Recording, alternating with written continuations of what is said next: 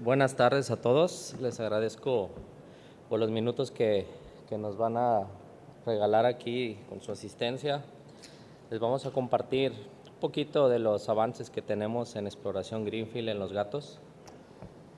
De verdad que estos días que hemos platicado ahí con la gente, estos dos primeros, hemos preguntado qué conocen de los gatos. Mucha gente dice, ah, es una mina en Chihuahua, están asociados con japoneses, tienen plata, tienen zinc, pero solo eso, ¿no? Normalmente nosotros eh, tenemos todo, bueno, como muchos publicados en la, en la página oficial, pero casi toda la información que se tiene es sobre lo que es la mina, las reservas, pero todo lo que es la exploración regional de lo que tenemos no, no está publicado.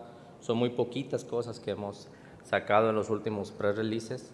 Entonces, lo que queremos es eso, el mensaje de esta plática es que vean que los gatos, eh, en realidad, pues sí, tenemos la mina con mucho potencial y hay todavía hay unas cuantas hectáreas que hay que mapear, que hay que explorar con muchos targets que no han sido compartidos. Eh, dándoles este contexto, durante todos estos discoveries, estos 10 años, hemos visto la evolución de muchos proyectos, hemos visto algunos proyectos que empezaron desde cero, donde no había nada. Algunos empezaron con alguna adquisición, con barrenos someros. Empezaron a hacer todo el trabajo poco a poco. Muchos ahorita ya son todo un proyecto maduro. Eh, algunos ya son minas. Algunos se nos quedaron en el camino. Ha pasado de todo, ha habido muchos, muchos problemas, pero la exploración sigue, ¿no? Eh, tal vez no al, al nivel de antes. Ahorita los precios son muy buenos tenemos problemas con el gobierno como todos, pero pues hay que aguantar y hay que explorar, ¿no? Dándoles este, este contexto, me gustaría darle las gracias a Doc y a Adelina que les comentamos a modo broma que ya nos dé una tarjeta de clientes frecuentes, ¿no? Ya son 10 años viniendo y, y pues hemos conocido a muchas personas, a, a, la gente, los geólogos nuevos que vienen por primera vez, les recomiendo si su enfoque la exploración, sigan viniendo. Es un networking muy, muy importante. Hay muchos proveedores de exploración relacionados y pues les va a gustar mucho este congreso. Vamos a empezar. El tema, pues es como les digo, desbloqueando el potencial de lo que es los gatos. Aquí tenemos el disclaimer muy importante. Esta plática es la entrada, es la entrada de lo que es todos esos targets que tenemos. Eh, no es el plato fuerte, hay, muchas pláticas que, como les digo, ya son proyectos muy maduros, con mucha información. No me voy a enfocar tanto en lo que es la mina. Eh, todas las preguntas que tengan relacionadas con, la unidad, no hay ningún problema. Tenemos el Korshak aquí también con toda confianza. Pero sí quiero eh, decirles que toda esta parte de la entrada es para que vean todo lo que hay, va a ser un camino a lo largo de estos discoveries, irles exponiendo cómo va a ir creciendo. No todos los targets probablemente eh, sean positivos, pero probablemente varios sí lo sean. Es el enfoque, hay muchísimo potencial y es, es lo que queremos compartirles, que conozcan, que vean poco a poco y pues que, que esperamos les guste y trabajen con nosotros. Empezamos primero con quién es Gato Silver, ¿no? Gato Silver es una empresa que básicamente su enfoque es la plata. Nos enfocamos desde explorar hasta producirla. Tenemos una posición, creemos, clave en todo lo que es el distrito de plata. Eh, estamos aproximadamente eh, a dos horas de la ciudad de Chihuahua. Eh, lo mismo tiempo hacemos a la ciudad de Parral. Estamos exactamente a la mitad entre una y otra. Ahí agarras una terracería y llegas a la, a la unidad minera, no hay ningún problema ahí.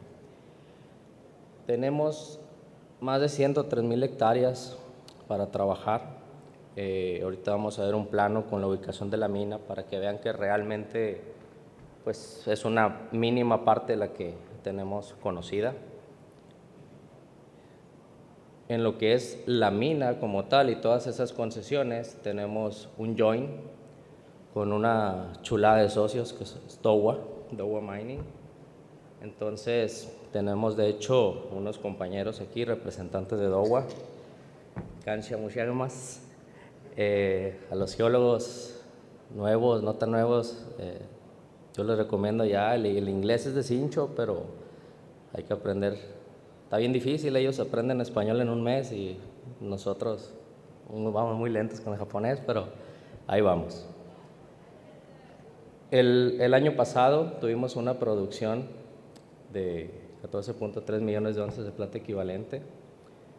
Eh, como les comento, no voy a entrar en mucho detalle en todo lo que es la parte de la mina. Ya el año pasado tuvimos una plática en la que se abordó más eso. La idea es ir escalonando toda esta información. Y pues esta es la estructura, la estructura de esta, de esta plática, un poquito de la historia, para que más o menos sepan cómo, cómo fue que se desarrolló todo lo que es la mina y, pues la, adquisición, un poquito de la, geología, no tan regional, sino más semi-regional, obviamente local. Un, un, resumen final para que pues vean cuál es el camino que sigue, qué es lo que queremos en los gatos y el recurso humano que tenemos trabajando. Un poquito de la historia. Esto, esto empezó en el 2005 con la compañía de La Cuesta, La Cuesta International. Ellos fueron los primeros que caminaron en esta zona. Eh, hicieron los primeros denuncios. Obviamente había algunas cosas antiguas, labores de minería antigua, etcétera. Pero digamos, lo que es el gran paquete de concesiones empezó en el, en el 2005. Posteriormente se opcionó para para los gatos en el 2006. Y algo interesante es que cuando llegó la compañía se empezaron a, probar algunos targets, ¿no?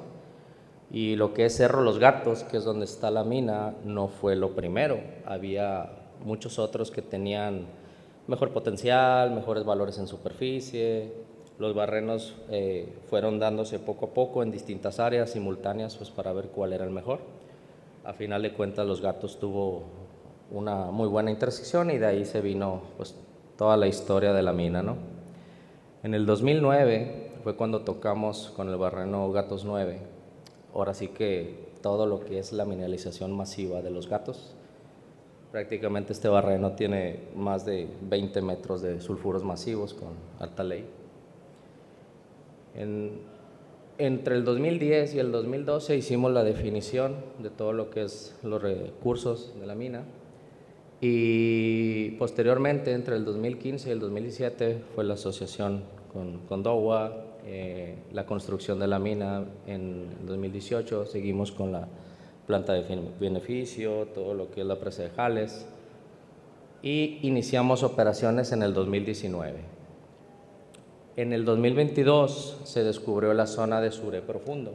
Esta zona es la que se habló el año pasado, en la que es la extensión de gatos hacia profundidad.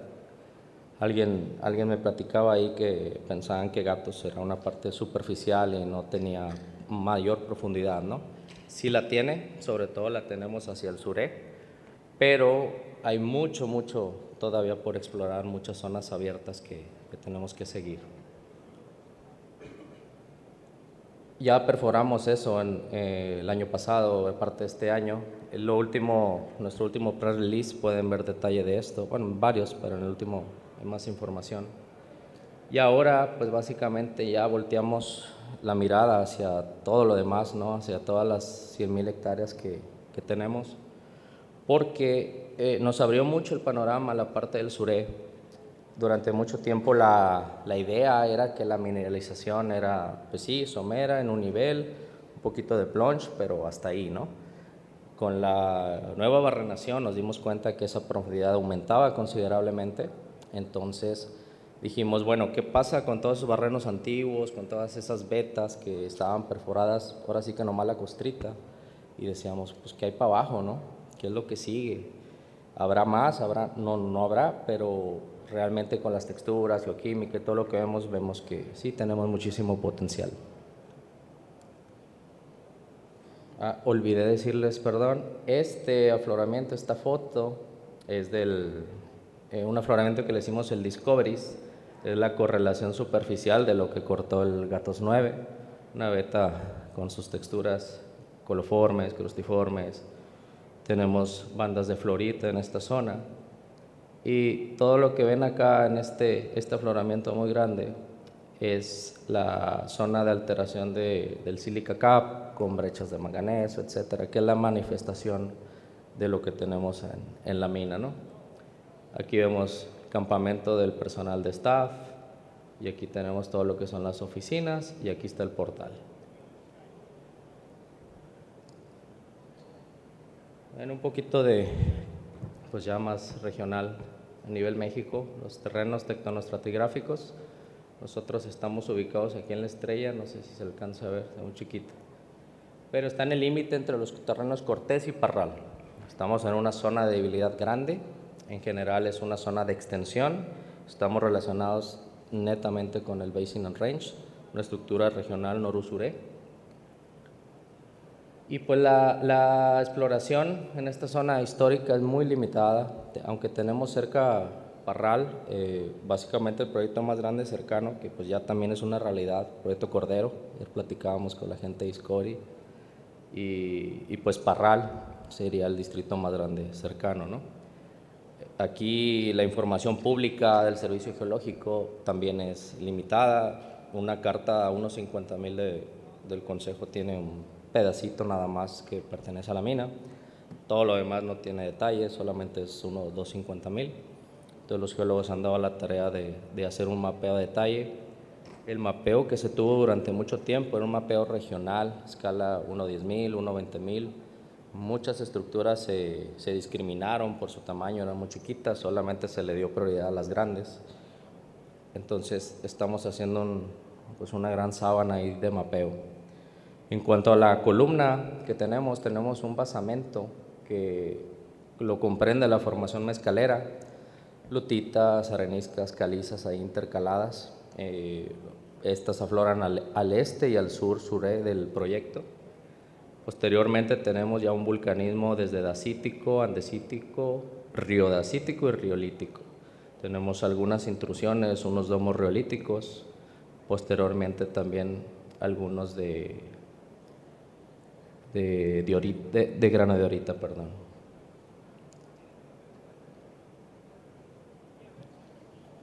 En esta diapositiva podemos ver aquí donde se ve el logo del gatito, aquí es donde está la unidad. La, la concesión más grande es esta que ven aquí, el polígono negro, y como pueden ver, pues es muy pequeña, lo que es la parte de la mina comparado con todo lo demás. Nosotros tenemos definidas estas tres estructuras principales, que son regionales con rumbo norú-suré. Esta es la falla Leones al, este, la falla central, que es Los Gatos, y la falla Conchos, en la parte del oeste. ¿no? Cada falla pues, tiene una, una longitud de, de rumbo en la que hemos visto afloramientos de brechas, de contactos de diferentes rocas.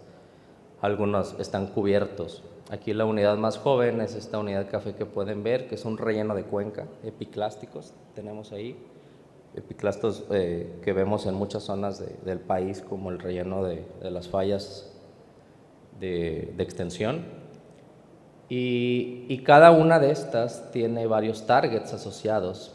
Para nosotros la, la de más prioridad es esta, porque es donde tenemos la unidad minera que son el portigueño, que ahorita vamos a hablar de ellos, es hacia el suré, la Falla Roja, ah, también para el suré, Cieneguita, San Luis, Esperanza, son hacia el norú, toda esta parte.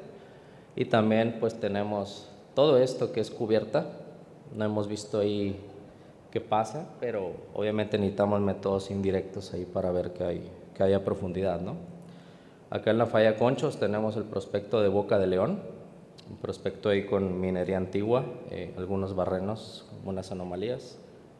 Y, y, toda la parte central no, no, consideramos una estructura principal regional como falla, pero hay numerosas vetas de distintas eh, extensiones en el rumbo.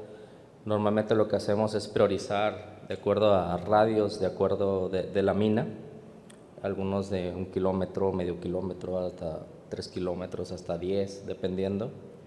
Y pues obviamente con sus características mineralógicas y geoquímicas.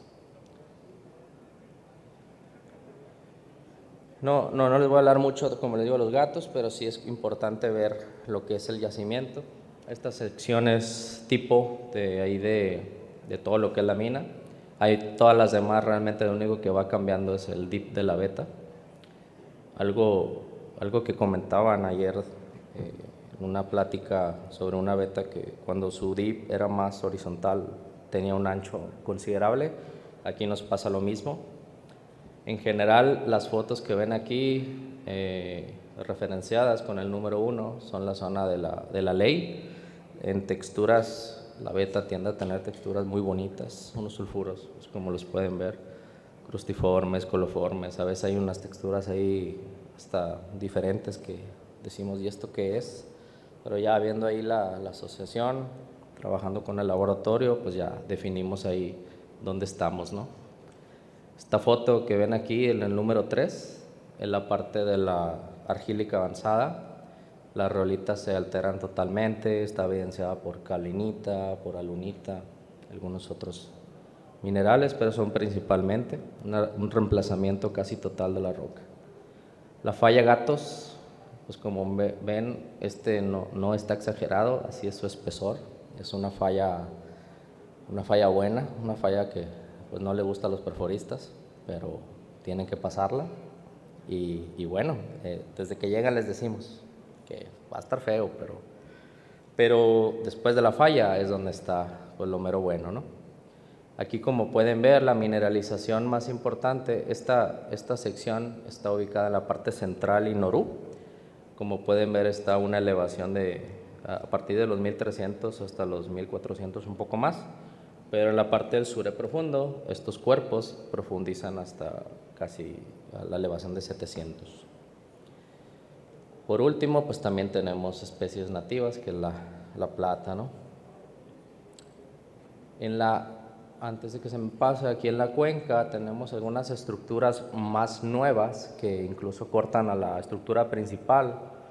Eh, tenemos identificadas aquí algunas, se las mencionamos, Santa Ana y la Beta Agnes. Eh, Básicamente son muy frías, calcita, manganeso, a veces algo de varita, pero a profundidad empiezan a tener ya un desarrollo más hidrotermal. Tienden a ser estructuras muy largas, a veces hasta kilométricas. A veces es difícil ubicarse en el sistema, ya que están todavía más arriba de la calcita masiva, de la calcedonia, y dices, bueno, ¿tendrá potencial o no? Porque puede estar muy profunda pero lo que nos ayuda mucho a veces son fallas posteriores que nos mueven todo el sistema y nos exhuman eso o la zona buena. Y es ahí donde entra, pues entra lo, lo bueno de nosotros, ¿verdad? de buscar esos saltos, eh, las zonas favorables, delimitar los bloques y vectorizar la exploración hacia las zonas favorables y no donde esté profundo el mineral. ¿no?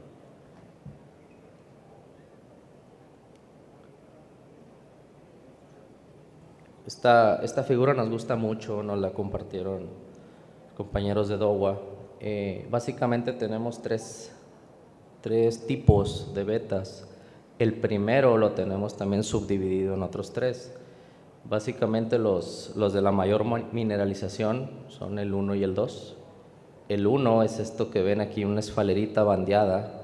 Generalmente su contenido es zinc varía en el fierro tenemos todos los tipos de, esfalerita aquí en esta zona, eh, acompañado de florita, de willemita, cuarzo y varita. En la parte de aquí pueden ver los tres tipos. El uno, como les comento, es la esfalerita bandeada. La, dividimos en, base a su textura, si es brechada con fragmentos de esto, si es totalmente bandeada, donde no esté digamos que haya pasado un evento de reactivación, como esto, y la de sulfuros masivos. Hay veces que ves todo el núcleo lleno de, galena, de esfalerita, pero pertenece al, al, mismo evento.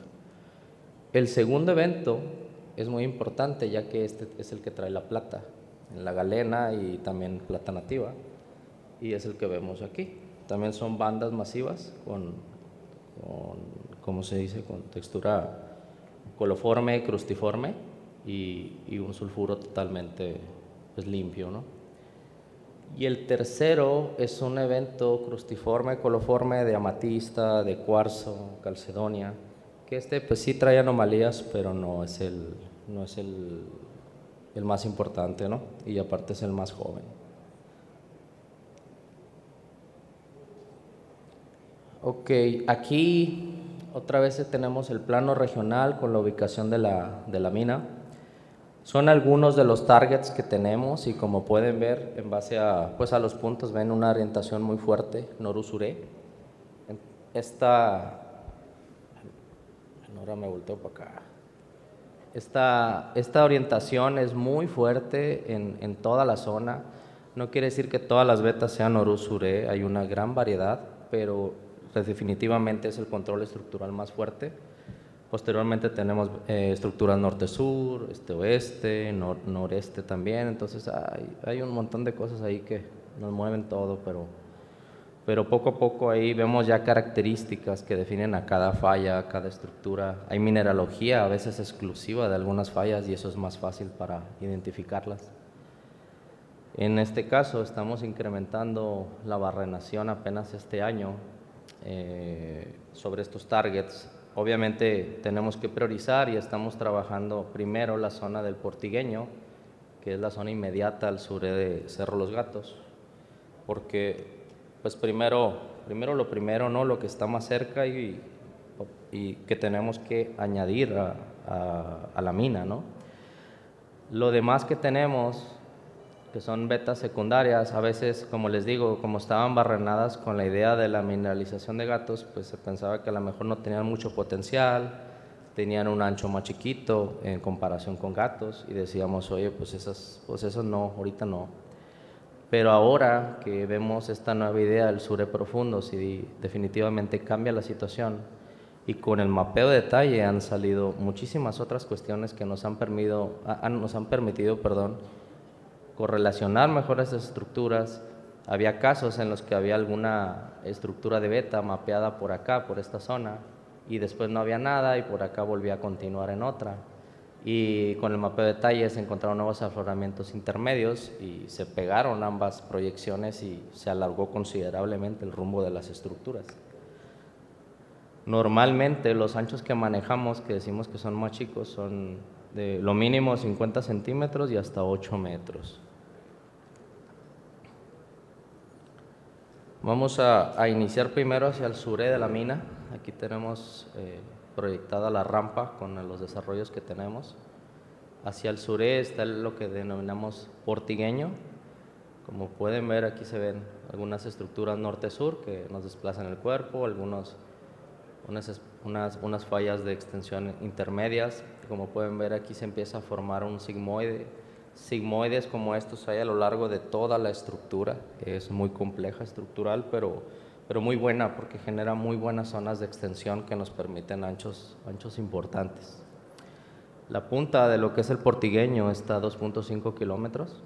Básicamente todo lo que es esta zona es lo que, lo que llamamos portigueño.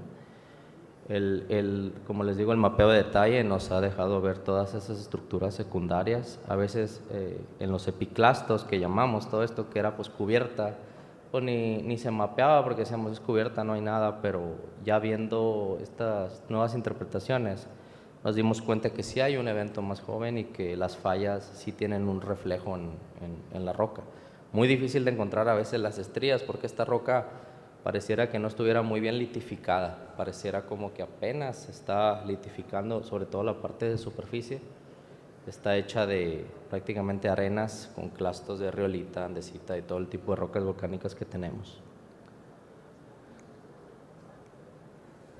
Este punto que ya lo había mencionado eh, se va a repetir mucho, pero es, es muy importante tomarlo en cuenta que esa barrenación vieja fue muy somera y que no, no, tomó en cuenta algunas características de la misma beta y que para nosotros es muy importante ya que pues nos define un potencial enorme. ¿no? Esta, perdón, esta foto es, es, de la estructura que les comentaba. La mina está aquí en la parte de abajo, digamos, del afloramiento. Estamos viendo hacia el suré y pues podemos ver aquí como en una zona inmediata tenemos los desplazamientos que, que les comento. ¿no? Esto es un adelanto de lo que es Portigueño 3. Básicamente llevamos tres barrenos en lo que es el Portigueño por parte de ampliar lo que es el rumbo de la, de la beta de gatos. Ahorita tenemos, por ejemplo, esta, esta intersección. Los valores ya, ya están publicados. Tenemos algunas zonitas como estas, donde ya las texturas empiezan a ser muy parecidas a lo de la beta, con el tipo 1 que les explicaba de sulfuros eh, bandeados. También tenemos eh, amatista asociada a este evento, esta no es la del evento tardío. Y mucho, mucho blade, mucho blade en esta zona que nos dice pues, que hay que ir, hay que ir más para abajo. ¿no? De aquí volteamos ahora hacia San Luis. San Luis es esta zona que tenemos acá, es hacia el Norú. Aquí está la referencia de la mina.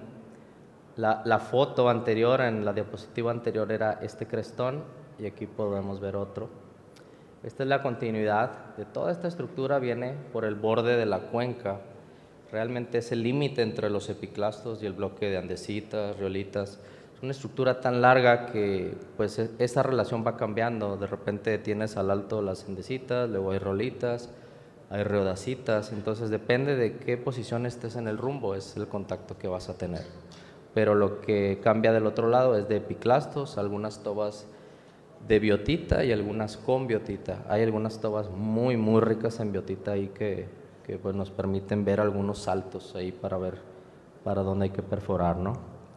Retomando el tema de San Luis, eh, estamos aproximadamente a 10 kilómetros de la, de, la, de la mina en la punta. Tenemos múltiples prospectos desde aquí hasta la mina. Tenemos la Cieneguita, que es la parte intermedia, y la Esperanza es volteando hacia la espalda de la foto, hacia el, hacia el norú. ¿no? Este afloramiento que tenemos aquí tiene aproximadamente 30 metros de ancho y lo que conocíamos era este corte de un barreno antiguo. Estas son las secciones que se están generando ahora con la revisión de la información. Esta beta, por ejemplo, no se tenía conocida en superficie, teníamos solamente el cuerpo negro que se ve y estaba mapeado así, pero ya buscando el detalle encontramos pues que esto aflora, ¿no? Y, con la revisión de todas estas unidades tratamos de, de ver estas diferentes, ver qué salto tienen, dónde se correlacionan, si es que lo podemos hacer entre secciones. Y pues la verdad es que nos ha ido dando resultados. Esta zona está planeado barrenarla en este año, todavía, todavía no empezamos, pero como pueden ver, pues hay, hay una fuerte eh, correlación entre las estructuras aflorando con lo que se ha perforado. Lo que se perforó aquí, como, como pueden ver, es un barreno muy somero.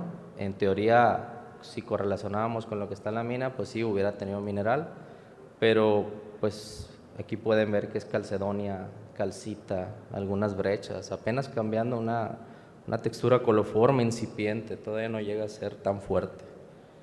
Las anomalías son bajas, eh, muy correlacionables con el afloramiento que les mostré al principio del Discovery, no, no tiene mineral económico, pero sí tiene unas anomalías muy interesantes. Aquí pues pueden ver que hay numerosas bandas y eso es bueno para el sistema. Ahorita todavía estamos relogueando los barrenos, haciendo trabajo de gabinete. Y hicimos apenas un levantamiento de dron. Por ahí andan los, los compañeros que nos apoyaron en esto. Y pues la verdad nos sirve bastante para el mapeo, para traer ahí una imagen nueva Ahorita, desgraciadamente, no, no ha llovido mucho ahí en, en, esta zona de Chihuahua. A nosotros, de algún modo, nos beneficia en el sentido de que podemos ver la roca, casi no hay nada que la cubra, pero pues definitivamente necesitamos que, que llueva, ¿no? Eh, necesitamos mucha agua en esta zona. Volvemos a cambiar ahora esto es fuera de lo que es la estructura principal de la falla de gatos. Es un target secundario para nosotros. Está ubicado aquí, eh, hacia el centro de lo que es la, la mina. Esta es la mina. Aproximadamente 1.3 kilómetros. Es, es una falla con una brecha, normalmente rellena de roca molida, triturada, silicificada, mucha calcita, manganeso también tiene algunos barrenos someros, pero cortaron todavía la brecha, algunas calcitas. Tenemos aproximadamente de 600 eh, metros en una zona hacia el sur reconocidos y un kilómetro hacia el, hacia el norú. Es una falla muy potente, como pueden ver aquí en este afloramiento. Tiene el contacto de las reolitas con las andesitas. Las andesitas están exhumadas. Y pues es uno de los targets que queremos probar a, profundidad, ¿no? Ya tenemos el plan de barrenación, tenemos permiso. Afortunadamente eh, pudimos meterlo antes de las elecciones, ¿no? Porque sí se va a retrasar un tanto los trámites. Ojalá que, que nos vaya bien ahora con los cambios que se hagan, ¿no? Eh, nos gusta porque tiene muchas características parecidas a los gatos si bien no, no, estamos buscando un nuevo gatos en esta estructura, pues buscamos una estructura que sea adicional, que nos ayude a pues mandar azúcar a la mina, que sea eh, para endulzar la ley, ¿no?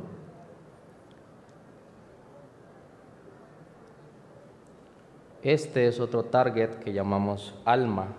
ALMA es un caso muy similar al que, al que les comentaba de que había alguna estructura chiquita por aquí mapeada, otra por acá, y al hacer un mapa de detalle pues vimos que había una extensión considerable, ¿no?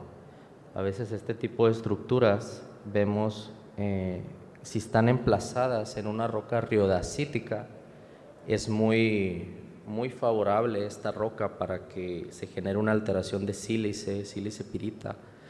Y nosotros consideramos esta alteración muy buena ya que, ya que nos permite pues seguir la beta de una manera sencilla, ¿no? La verdad es que es muy difícil en esta zona a veces porque se cubren, se cubren o si no es una zona de vetillas angostas, pero de buenas anomalías y pues es lo que necesitamos identificar como algunas pistas, ¿no? Para decir, este es este tipo de estructura.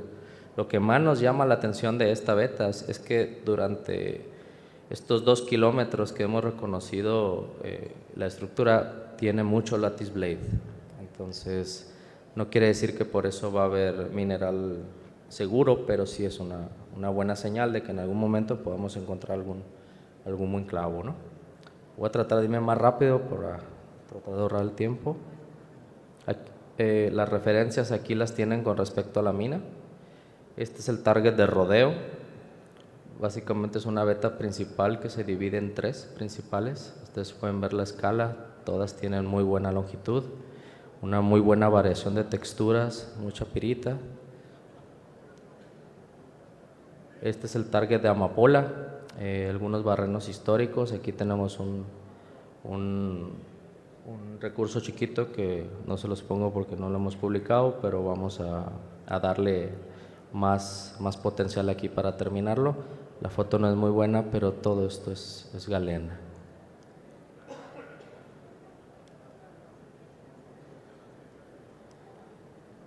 el proyecto Lince, está en la parte norú de la zona. Tenemos aquí casi una distancia de 20 kilómetros con respecto a los gatos.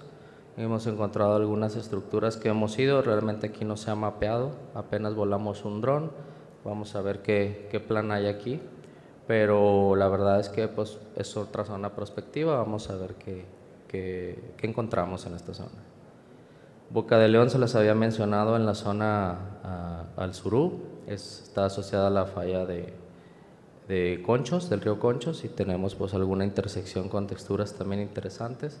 Esta es muy lejana también a la mina, pero es parte de lo que vamos a hacer. Hay algunos barrenitos también someros muy viejos y numerosos, eh, ¿cómo se llama? Trabajos históricos, algunas minitas. Los veranos también es una extensión que tenemos de los gatos, es lo más al, al suré que tenemos. También lo vamos a trabajar. Ahorita estamos haciendo un levantamiento con dron y pues tenemos diferente litología aquí. Aquí tenemos aflorando los sedimentos y acá es todo lo verde sandecita. Entonces, en resumen, eh, tuve que irme más rápido para ya terminar. Tenemos que pues toda la, la barrenación siempre estuvo enfocada a las reservas, a la mina, muy poco a los demás targets. Eh, los muchachos han estado trabajando en todo lo que es el mapeo. Hay que seguir y barrenar a la, a la vez. Entonces es hora de dirigir esta exploración y todo el, el presupuesto a lo demás fuera de la concesión. Y la, la diapositiva más importante, el recurso humano que tenemos, el equipo.